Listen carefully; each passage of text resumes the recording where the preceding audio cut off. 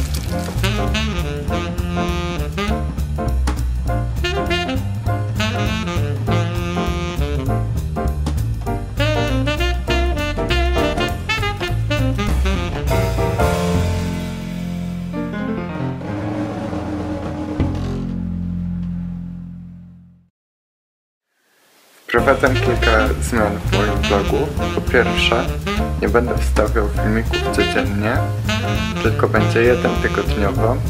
Co tydzień, w niedzielę, jeszcze zadecyduję o jakiej godzinie, będzie wstawiany jeden filmik y, z całego y, tygodnia.